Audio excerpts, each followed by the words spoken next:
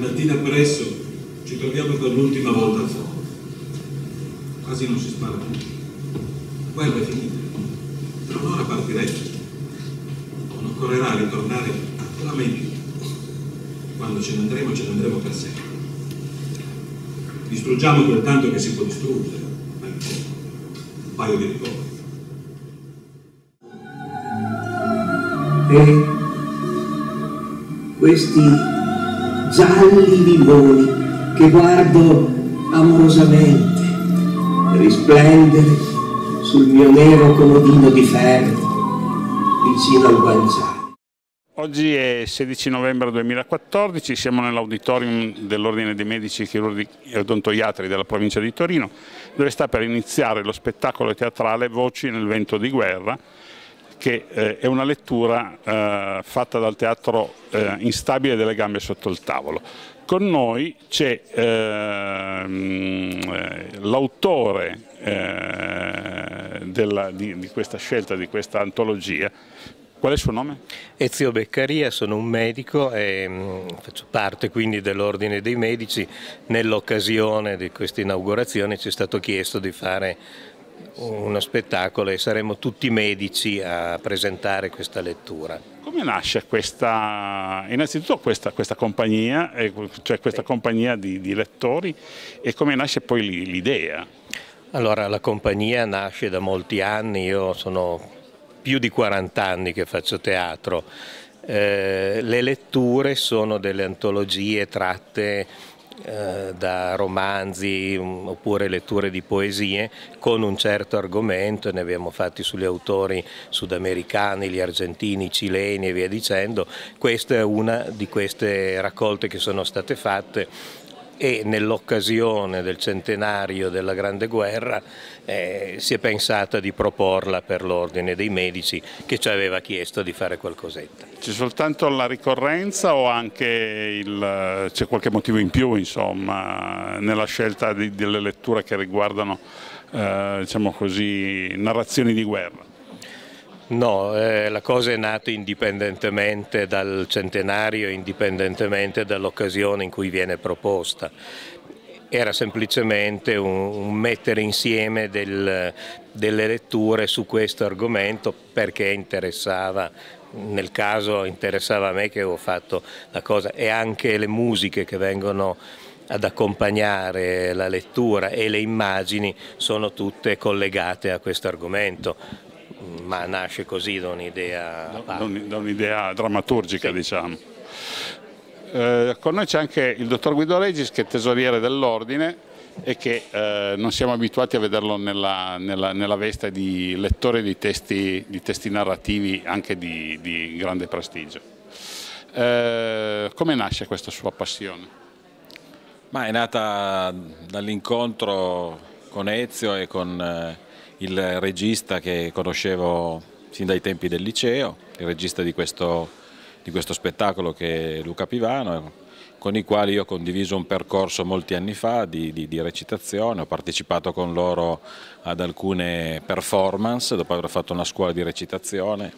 E poi mi sono staccato per motivi di lavoro e famiglia, sono ormai dieci anni che non recito più e questa volta, visto che c'era questa esigenza di, di, fare uno spettacolo per l'inaugurazione di Villa Rabbi, io li ho contattati e loro mi hanno ricattato in sostanza, mi hanno detto se vuoi che veniamo tu devi almeno fare una parte con noi e quindi adesso sono in questa condizione che devo riprovarci.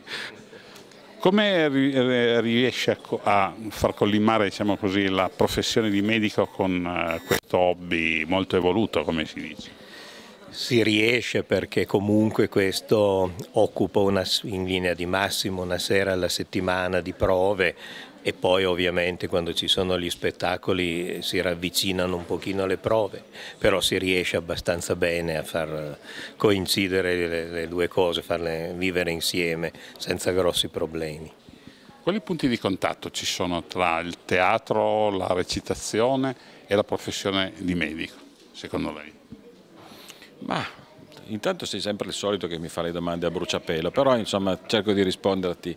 Io penso che ci siano dei, dei, dei punti di contatto e forse li ho, io li ho trovati anche in questo, nel senso che eh, io ho cercato di fare la scuola di recitazione anche per mm, innanzitutto trovare la, la capacità in me di, di vincere alcune, dire, alcune timidezze.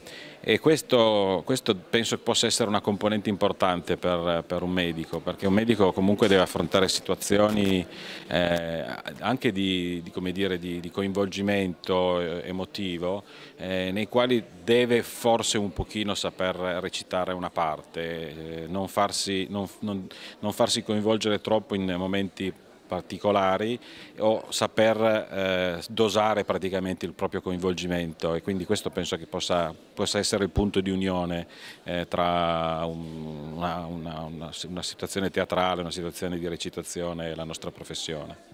Lei che cosa fa in ambito medico? Io sono cardiologo. Ecco, eh, si sente tutto parlare di medicina narrativa, eccetera, eccetera due, questa esperienza l'aiuta diciamo così, nell'instaurare il rapporto medico-paziente? C'è qualche, qualche, attinenza immagino? No? Sinceramente non ne vedo molte, ecco, sono due cose un po' parallele, poi per carità eh, si può coinvolgere a volte il paziente nel senso che ti viene a vedere quando si instaura un rapporto un pochino più di, di confidenza, di amicizia, al di là di quello sinceramente sono due, due campi abbastanza paralleli e non particolarmente convergenti, ecco, secondo me.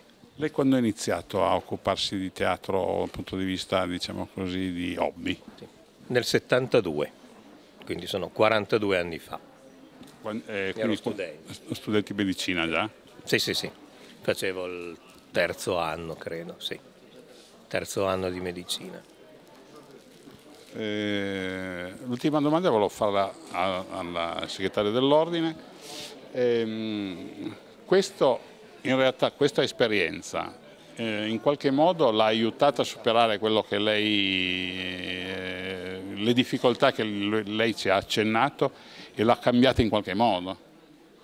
Beh sì, il periodo, il periodo, in cui ho fatto più intensamente recitazione sì, è servito, è servito molto, mi ha dato molto. Devo dire che onestamente anche riprendere in questi giorni mi ha, mi riavvicinato a delle, delle sensazioni, anche, a, anche a, al, al, pensiero di potervi dedicare a qualcosa eh, di diverso dalla, dalla, semplice routine e soprattutto di, ad argomenti culturali di un certo peso, ecco, questo sì ultima domanda facciamo a lei, come mai si, si, sa così poco delle passioni dei medici extra, extra medico-sanitari? Eh. Soprattutto qua a Torino. Non ne ho proprio idea, probabilmente perché i torinesi in genere, forse anche i medici, non amano esprimere, mettere fuori le, le proprie idee, le proprie passioni. Sono un po' chiusi anche in quello, penso preferiscono il, il, fare al dire di fare. Esattamente, esattamente. Proprio. Anche se nel suo caso le due cose potrebbero coincidere. Potrebbero coincidere, certo. ok, grazie. Grazie. Buona bocca al lupo. Grazie. Sono un soldato e non importa di combattere, non mi importa. Mi diceva rivelandomi sinceramente i suoi pensieri non mi dispiace rischiare di morire per il mio paese, è il mio mestiere. Però la guerra che noi stiamo facendo qui in questo momento, signor Tenente, ho un bel pensarci su, ma non riesco a considerarla onesta. Non è una guerra regolare dove c'è un fronte di battaglia e si sfida il nemico in un combattimento diretto e decisivo. Noi avanziamo e il nemico fugge senza quasi combattere